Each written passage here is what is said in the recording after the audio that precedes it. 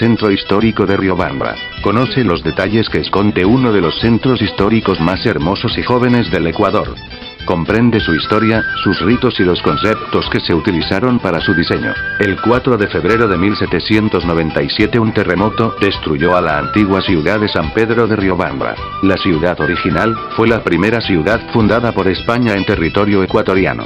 Diego de Almagro la fundó el 14 de agosto de 1534. La catástrofe permitió a los riobambeños construir la primera ciudad planificada del Ecuador, lo cual dio lugar al diseño de uno de los centros históricos más hermosos de los Andes.